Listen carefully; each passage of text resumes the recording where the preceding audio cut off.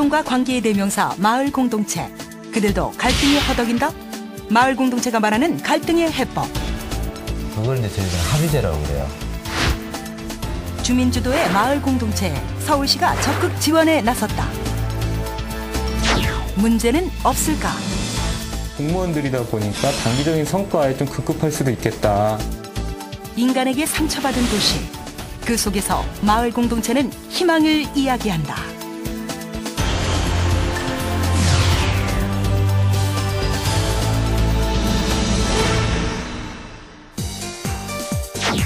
무관심, 고독, 치열한 경쟁이 난무한 서울은 공동체가 붕괴된 지 이미 오래되었다. 이런 가운데 서울시는 공동체 복원을 위해 마을 만들기 지원에 나섰다.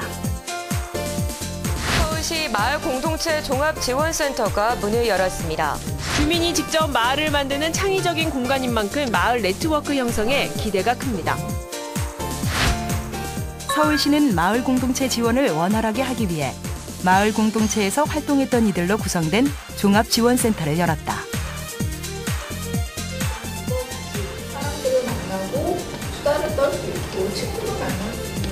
이토록 서울시가 마을 공동체를 주목하는 이유는 무엇일까?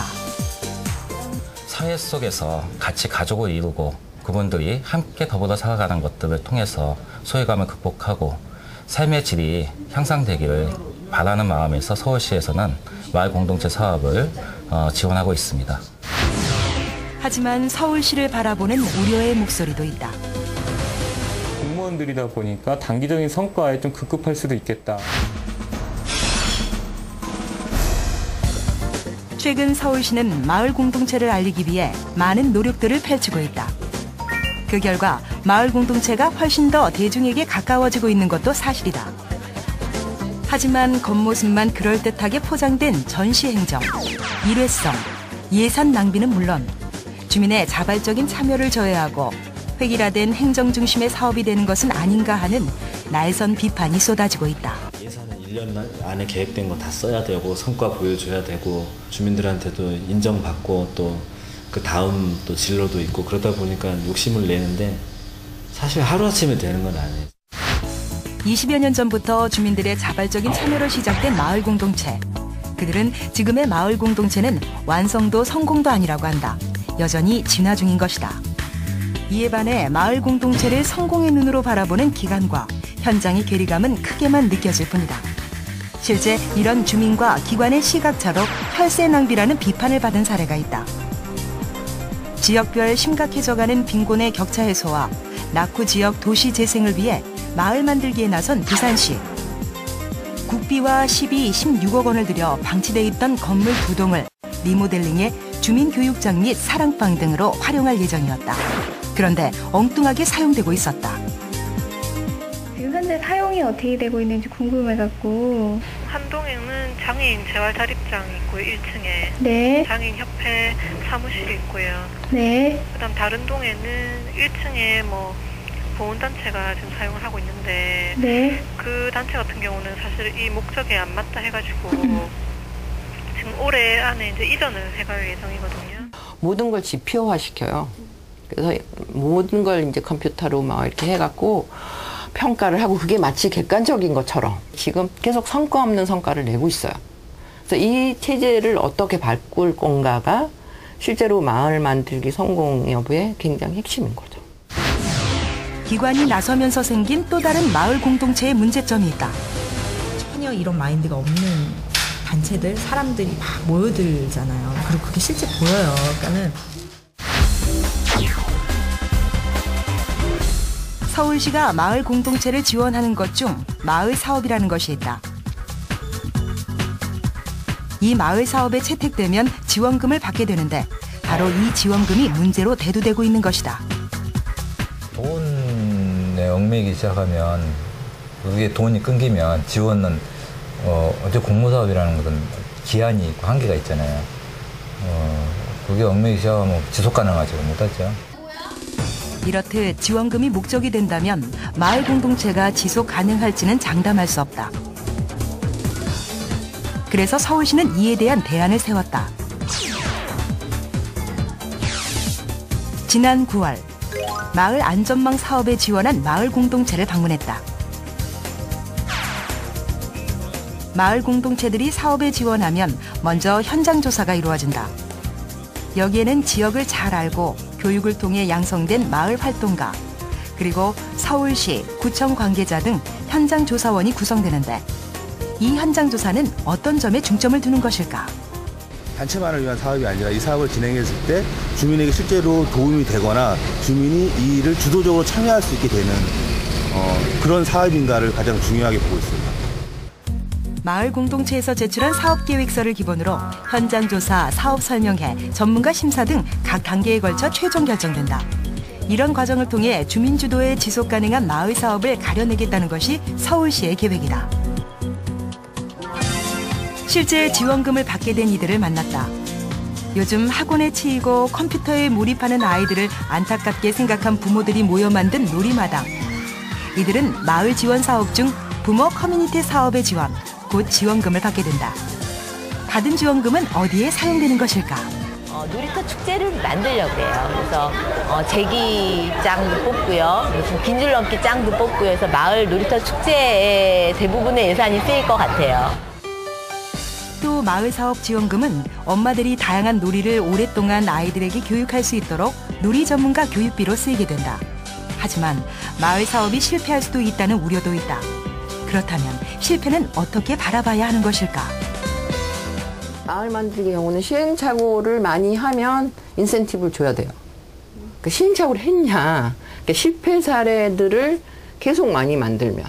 그래서 정말 공무원들이 현장에 있으면서 실패하는 걸 보고 그 실패 속에서 사람들이 행복해하는 거를 볼 수 있어야 되는 거죠.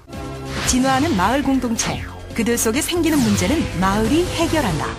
갈등과 관계와 사람 속에 어, 어떨 때는 뭐 빠져서 허우적거리고 있는 것 같은 느낌이 들 정도로 소통과 관계에 있어서 누구보다 많은 경험이 있는 것이 마을 공동체다.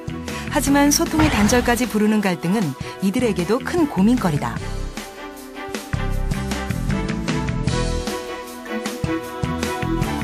갈등을 해소하지 못한다면 결국 마을 공동체도 사라지고 마는 것이다.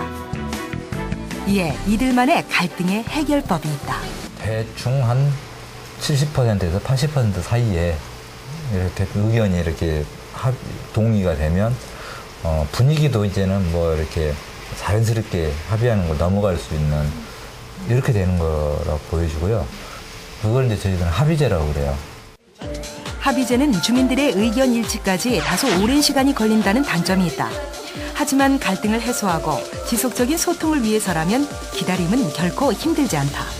인내 또한 마을이 성장하는 데 한 과정인 것이다.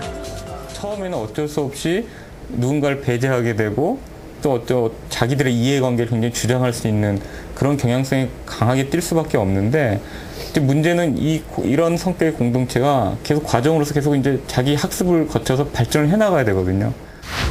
마을 안의 소통의 단절은 그들의 경험으로 해결해 나가고 있지만 근데 거기는 활동하는 사람들끼리만 그냥 하는 것 같아요.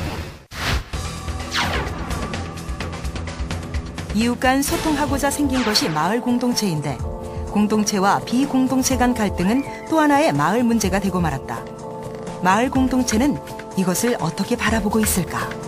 어, 지리적인 것만이 공동체성을 형성하는 것을 얘기할 수 있는 게 아니고 관계가 형성된 이후의 지리성을 얘기할 수밖에 없지 않느냐 이렇게 생각이 좀 들고요. 본인이 뭔가에 자기가 필요에 따라서 필요한 어, 것과 연결할 수밖에 없죠. 마을 공동체는 주민을 모으기 위해 직접 나서거나 강요하지 않는다. 개인의 필요에 따라 마을 공동체에 접속하고 자발적인 참여를 해야 하는 것이다. 혹 마을과 공동체라는 단어 때문에 생기는 추억과 선입견이 이런 오해를 낳는 것은 아닐까. 마을은 다양성이 핵심이고요. 네. 다양성이 없으면 이미 마을이 아니에요. 그러니까 마을이 하나다라는 건 농경시대의 마을이고 도시에서의 내지는 이미 자본주의화 공업화한 사회의 개개인이 된 사회는 다양성이 살아있냐. 그게 핵심이에요. 그렇다면 서울이 가야 할 마을 공동체는 어떤 모습일까? 서울의 주거 환경 중 50% 이상을 차지하고 있는 아파트.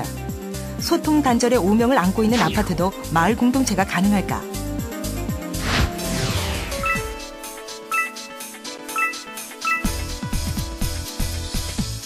우리는 서울 송파구에서 마을 공동체를 만날 수 있었다.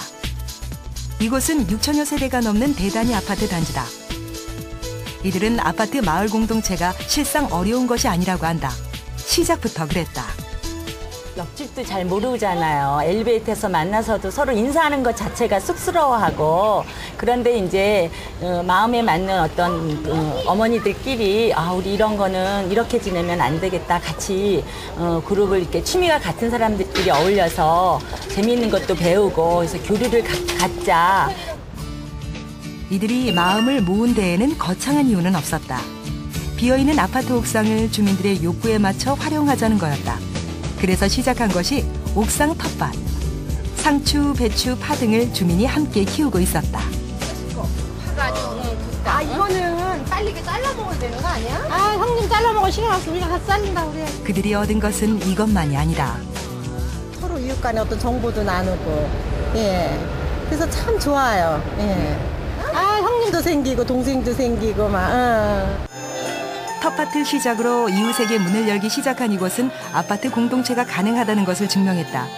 어쩌면 이들은 이렇게 살기를 원하고 있었는지 모른다. 그것을 이웃에게 표현하기 주춤했을 뿐. 공감대 형성, 이들이 말하는 아파트 공동체 가능성의 해법이 아닐까. 내가 중심이 돼서 내 삶의 관계를 구축하고 그걸 담아내는 물리적 형태로서 어, 주거지를 만들고 동네를 만들고 나아가서 지역사회를 만들고 그래서 현재 지금 말 만들기 사람 중심의 사업은 바로 그, 그동안 비었던 도시의 속살을 채우는 거다. 난 그렇게 정의합니다. 아파트와 함께 서울 마을 공동체가 고민해야 할 것은 바로 도시 재생, 재개발이다. 지금까지 노후된 주택 지역은 전면 철거해 아파트를 세우고 새로운 마을을 만들었다. 하지만 전면 철거와 같은 재개발은 각종 문제점을 낳고 있다. 그저 몇 퍼센트 주민이 동일하면 그 전체를 뭐 어, 반대가 있다 하더라도 일괄적으로 그 싹쓸이 해가지고 가능하다면 집을 많이 짓는 결국은 죽 써가지고 개져버리는 어, 그 지역 주민들의 삶의 어떤 그런 질적 개선을 위해서 한다고 하지만은 어, 질적 개선이 전혀 안 해줍니다. 도시 재생에 마을 공동체가 힘이 될 수 있음을 성북구 장수마을에서 찾을 수 있다.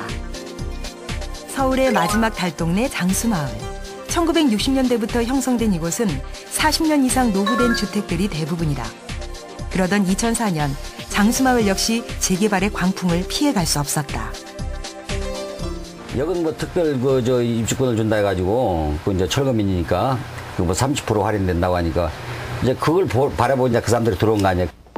재개발은 마을 주민에게 상처만 남겨주었다. 치솟는 집값과 주거 불안에 주민들은 술렁이게 만들었다.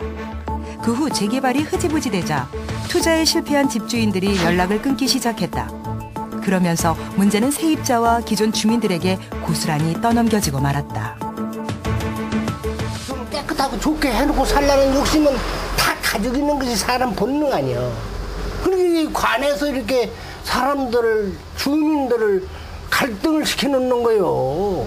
그렇게 지금 현장 상태에서 그냥 이제 비가 오게 생겼으면은 비닐을 씌워놓던가.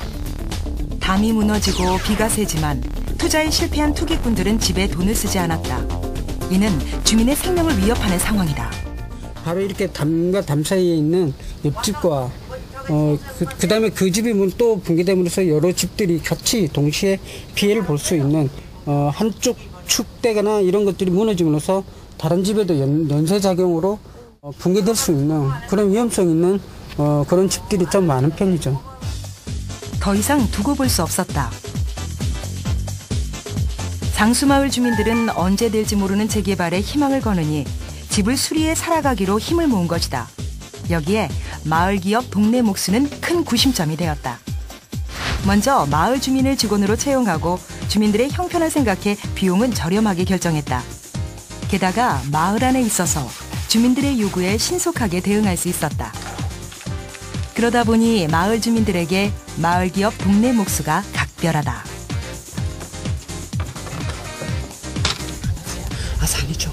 이렇게 계단 있지 댕기기 힘들던 게 안 와요. 말하자마자 바로 와서 해줬어.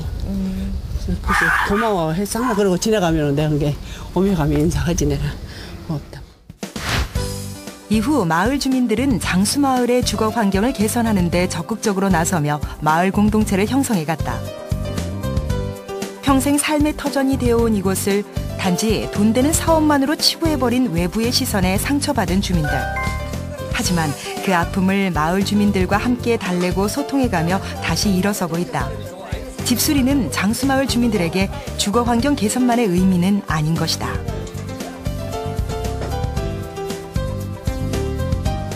이 집에서 내가 적어도 몇 년은 더 살아야 되겠다는 생각을 하고 이웃하고 친해지고 그러면 자기가 고쳐요. 그 사람이 이 동네와 집에 대해서 애정을 가지면 고쳐지거든요. 그런 건 어떻게 보면 그 행정에서 할 수 있는 일은 아니에요. 천만 명 서울 인구 중 65세 이상 인구는 108만 명, 10%에 해당한다. 앞으로 고령화 사회는 급속도로 진행될 것으로 예상되는 가운데 고령화 인구에 대한 사회 부담감이 심각해지고 있다. 게다가 가족의 해체와 사회에서 외면당하는 어르신들은 설 곳마저 잃고 있다.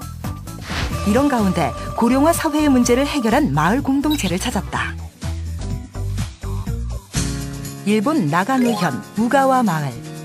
고령화율이 30%로 나가노현에서도 가장 높은 곳이다.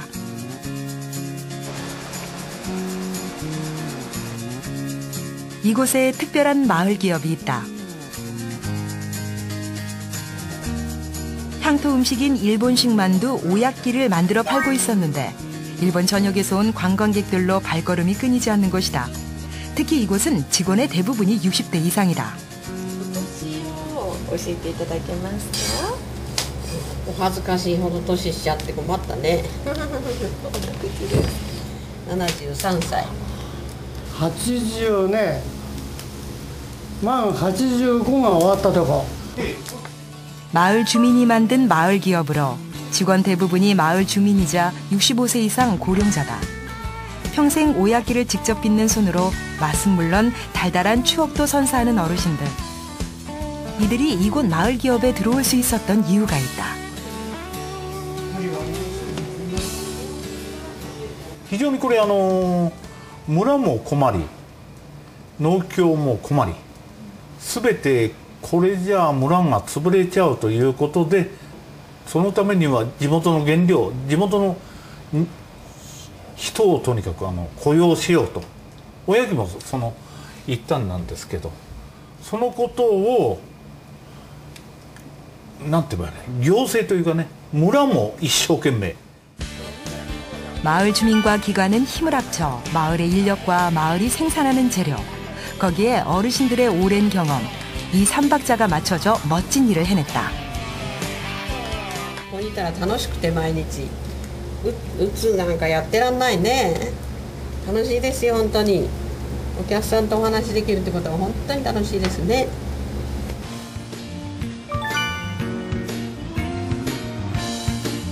생활 안정과 지역 경제도 살리는데 어르신들의 힘은 컸다. 고령화, 그것은 위기가 아니라 기회가 되었다. 마을 안에서 그 답을 찾은 것이다. 이렇듯 마을 공동체는 다양한 모습을 하고 있다. 여기 새로운 모습으로 마을 공동체의 첫 발을 내디딘 곳이 있다. 주말임에도 불구하고 주민들의 관심을 끌어모은 것. 통장이다. 마을 공동체와 통장 무슨 관계일까? 가상의 화폐를 어, 회원들끼리 이걸 만들었어요. 지금 이 만든 걸 가지고 자기가 필요한 것들을 지금 구입하는 시간입니다. 최근 지역 경제 활성화를 위해 가상 화폐, 즉 지역 화폐를 사용하는 곳이 늘고 있다.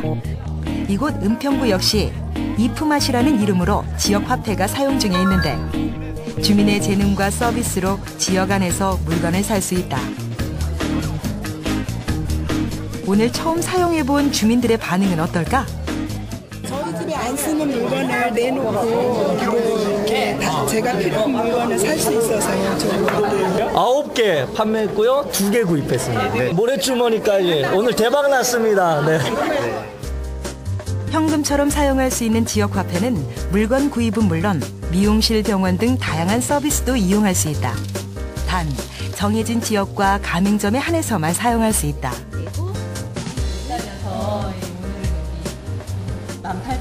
현금이고 2,000원, 예. 지역 화폐가 실질적인 도움이 되고 있는 것일까? 지역 화폐로 결제를 할 수 있는 부분이 또 이제 경제적으로 실제로 세이브가 되니까 좋고요. 어, 또 이렇게 한번 알게 되면 굉장히 이 품앗이라는 게 실제로는 음, 돈이 아닌데 어떻게 보면 믿고서 거래를 하는 거잖아요. 그러니까 이런 가맹점에 또 신뢰도 생기고 그렇게 되는 것 같습니다. 사실 지역 화폐를 사용할 때 돈의 나가고 들어옴을 개인이 직접 관리해야 하는 번거로움이 있다. 하지만 눈에 보이지 않는 지역 화폐의 힘은 실로 대단하다. 경제는 좋아질 거라고 얘기를 하지만 사실은 장담은 못합니다. 어, 이런 어려운 경제에 있을수록 이웃의 어떤 재능을 어, 또 부탁을 받을 수도 있고 또 대능을 줄 수도 있는 그런 거를 우리가 시작하게 된다 그러면 가난해도 우리가 부할 수도 있고요. 또 가난해도 행복해질 수 있다는 거죠. 공동체가 붕괴되고 서로가 서로를 믿지 못하는 현실 속에 다시 살아나고 있는 마을. 나와 가족이 그리고 이웃이 더불어 살아가는 마을. 마을은 학교이자 안식처이자 우리의 미래가 아닐까. 도움을 받을 수 있고 반대로 또 제가 잘하는 게 있으면 누군가한테 도움을 줄 수도 있어서 이제 마을이 예, 굉장히 좋은 배움터인 거죠. 옛날에 시골 같은 사랑방 같은 역할? 이렇게 만들어지는 거를 보면서 정말 기쁘거든요. 그, 그 맛 때문에 계속 뭔가 하고 있지 않을까 싶어요. 저는 이게 마지막 기회라고 생각해요, 사실은. 음. 그리고 한국이 그간에 굉장히 이제 저력을 갖게 됐기 때문에 가능하고요. 한때는 우리가 외면하고 있었던 것. 하지만 희망으로 절실해진 그것. 우리는 지금 마을로 돌아가고 있다.